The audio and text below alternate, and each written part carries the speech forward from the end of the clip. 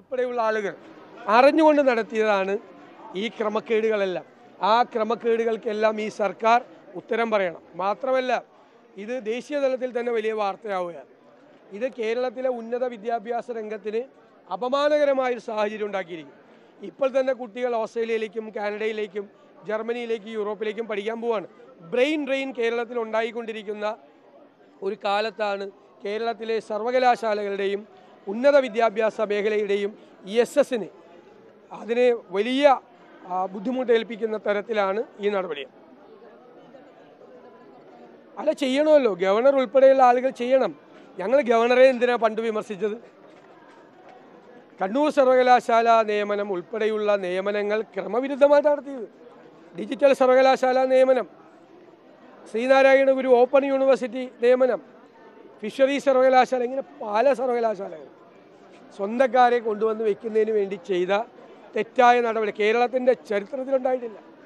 ഇതുപോലത്തെ സംഭവങ്ങൾ.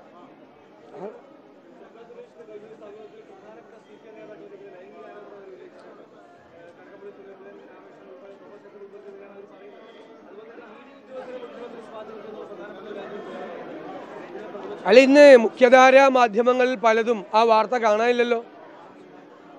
എന്തുകൊണ്ടാണ് മുഖ്യധാരാ മാധ്യമങ്ങൾ ആ വാർത്ത മാറ്റിയത്? എൽദോസ് കുന്നപ്പള്ളി എം എൽ എക്കെതിരായിട്ട് ആക്ഷേപം വന്നപ്പോൾ എല്ലാവരും ആ വാർത്ത ഇട്ടല്ലോ. പ്രമുഖരായ മൂന്ന് സി പി എം മുൻ മന്ത്രിമാർക്കെതിരായിട്ടുള്ള ആരോപണം വന്നിരിക്കുകയാണ്.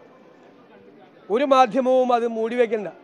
കാരണം അതും ഒരു സ്ത്രീയുടെ പരാതിയാണ്. അതും ഒരു സ്ത്രീയുടെ പരാതിയാണ്. എൽഡോസ് കുന്തപ്പള്ളിക്കെതിരായിട്ട് ഒരു സ്ത്രീ പരാതി കൊടുത്തപ്പോൾ ഞങ്ങൾ ആ സ്ത്രീയുടെ പശ്ചാത്തലം അന്വേഷിച്ച് പോയില്ലല്ലോ ഞങ്ങൾ പറഞ്ഞത് എന്താ? അതൊന്നും ഞങ്ങൾ പറയില്ല. സ്ത്രീയുടെ പരാതി ഞങ്ങളുടെ മുമ്പിൽ നിൽക്കി ഞങ്ങളത് പരിശോധിച്ച് നടപടിയെടുക്കുമെന്ന് പറഞ്ഞു. ഇപ്പം ഇതിന്റെ പുറത്തൊരു എഫ് ഐ എടുക്കണ്ടേ പോലീസ്? ഗുരുതരമായ ആരോപണമാണ് മുൻമന്ത്രിമാർക്കെതിരെ നൽകിയിട്ടുള്ളത്. മാത്രമല്ല മുഖ്യമന്ത്രിക്ക് നേരെ നൽകിയിട്ടുള്ളത്. ഈ അവരെ ഈ പാർക്കിൽ നിയമിച്ചത് പോലും ഇടനിലക്കാരിയായിട്ടാണെന്നാണ്. പവർ ബ്രോക്കറായിട്ടാണ് നിയമിച്ചതെന്നുള്ളതാണ്. വിദേശ കമ്പനികളുമായി ഇടനിലക്കാരായി നിന്ന് കമ്മീഷൻ കൈപ്പറ്റുന്നതിന് വേണ്ടി.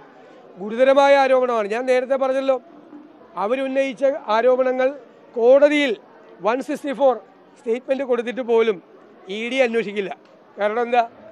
ഇ ഡിയും ബി ജെ പി നേതൃത്വവും കേരളത്തിലെ സി പി എം നേതൃത്വവും ധാരണയിലാണ്. ഒരു സംശയവും വേണ്ട ധാരണയിലാണ്. അതുകൊണ്ട് അത് അന്വേഷിക്കില്ല. ഇപ്പോൾ ഇവർ ഉന്നയിച്ചിരിക്കുന്ന ആരോപണം ലൈംഗിക ആരോപണം ഉൾപ്പെടെയുള്ള ആരോപണങ്ങളാണ് ഉന്നയിച്ചിരിക്കുന്നത്. കേരളത്തിന്റെ ചരിത്രം അത്തരം ആരോപണങ്ങൾ വന്നാൽ എഫ് ഐ ആർ എടുത്ത് അന്വേഷിക്കും.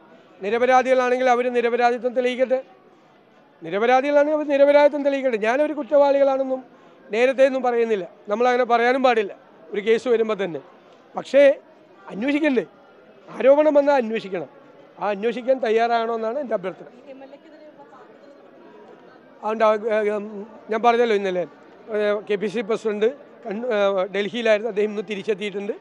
ഞങ്ങൾ എല്ലാ നേതാക്കന്മാരും തമ്മിൽ ആശയവിനിമയം നടത്തിക്കൊണ്ടിരിക്കുക ഉണ്ടാകും പ്രസിഡന്റാണ് പറയേണ്ടത്. ഇന്ന് തന്നെ ഉണ്ടാകണം എന്നാണ് ഞങ്ങൾ ആഗ്രഹിക്കുന്നത്.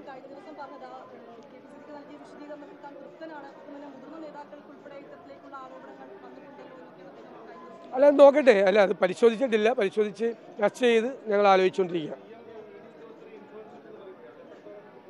അല്ല സി എം ഇൻഫ്ലുവൻസ് ചെയ്യണമെന്ന് പറഞ്ഞാൽ സി എമ്മിന് ഇൻഫ്ലുവൻസ് ചെയ്യാൻ പറ്റില്ലല്ലോ. കേരളത്തിലെ സി പി എം നേതൃത്വവും ബി ജെ പി നേതൃത്വവും ഡൽഹിയിൽ ധാരണയിലാണ്. ഞങ്ങൾ പരസ്യമായിട്ട് ആരോപണം ഉന്നയിച്ചു. അതുകൊണ്ടാണ് S N C Lavalin case മുപ്പത്തി മൂന്നാമത്തെ പ്രാവശ്യം മാറ്റിവെച്ചല്ലോ ഇനിയിപ്പോൾ അടുത്ത പ്രാവശ്യം വയ്ക്കുമ്പോഴും സി ബി ഐയുടെ വക്കീലിന് പനിയായിരിക്കും. അടുത്ത ഇതിൽ ഒന്നും പനിയായിരിക്കും.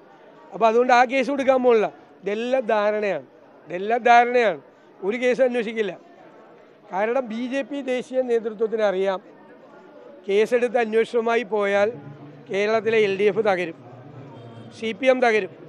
അപ്പോൾ അതിന്റെ അടുത്ത ബെനിഫിഷ്യറി ആരാ? ബി ജെ പി അല്ല കേരളത്തിൽ. ഒരു കാരണവശാലും അല്ല യു ഡി എഫ് ആയിരിക്കും കോൺഗ്രസ് ആയിരിക്കും.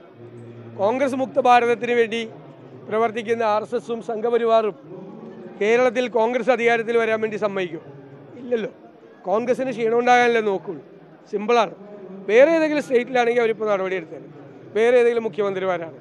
ഇതിപ്പോൾ എൽ ഡി എഫും സി പി എമ്മും തകർന്നാൽ അതിന്റെ ഗുണഭോക്താക്കൾ കോൺഗ്രസും യു ഡി എഫുമാണ് എന്നുള്ള ബി ജെ പി നേതൃത്വത്തിന്റെ തിരിച്ചറിവാണ്. അതിനേക്കാൾ അവർക്ക് ഞങ്ങളെക്കാൾ ഇഷ്ടം സി പി എമ്മിനോടാണ്.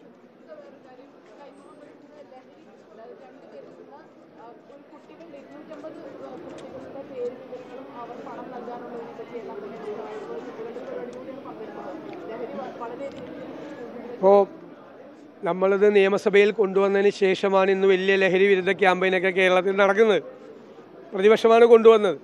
പക്ഷെ ഒരു കാര്യം മനസ്സിലാക്കേണ്ടത് ക്യാമ്പയിൻ കൊണ്ട് മാത്രം യാതൊരു കാര്യമില്ല ഇതിന്റെ സോഴ്സാണ് പിടിക്കേണ്ടത്.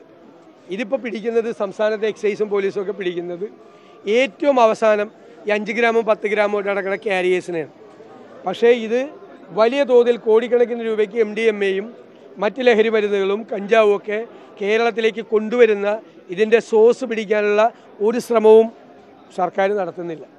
ദൗർഭാഗ്യവശാൽ സി പി എമ്മിന്റെ പല പ്രാദേശിക ഘടകങ്ങളും ഇതിന് കൂട്ടു നിൽക്കുകയാണ്. ഈ ഈ മാഫിയയ്ക്ക് ലഹരി മരുന്ന് മാഫിയ ഗുണ്ട മാഫിയക്കൊക്കെ കൂട്ട്. പിന്നെ പോലീസിന്റെ സ്ഥിതി എന്താണ്? പോലീസ് അടുത്ത വീട്ടിലെ സ്വർണം മോഷ്ടിക്കുന്നു. ഏ, ഓടിപ്പോയി രാത്രി പോണ വഴിക്ക് വഴിയിലിരിക്കണം മാങ്ങ മോഷ്ടിച്ചുകൊണ്ട് പോകുന്നു ആ പോലീസ് സ്റ്റേഷനിൽ വന്നവനെ പരാതിയായിട്ട് വരുന്നവനെ തല്ലിയിട്ട് അവനെതിരെ കേസെടുക്കുന്നു. ഞാൻ പറഞ്ഞല്ലോ മുഖ്യമന്ത്രി പിണറായി വിജയനാണ് കേരളത്തിലെ പോലീസിന്റെ ഈ തകർച്ചയ്ക്ക് ഉത്തരവാദി. എല്ലാ പാർട്ടിക്കും വിട്ടുകൊടുത്തുകൊണ്ടിരിക്കുക പാർട്ടിക്കാരാണ് കൈകാര്യം ചെയ്യുന്നത് അതാണ് പോലീസ് ഇങ്ങനെ പോലീസിന്റെ ചരിത്രത്തിൽ പോലും ഇല്ലാത്ത തരത്തിലുള്ള അപമാനകരമായ കാര്യങ്ങൾ ചെയ്യുന്നത്.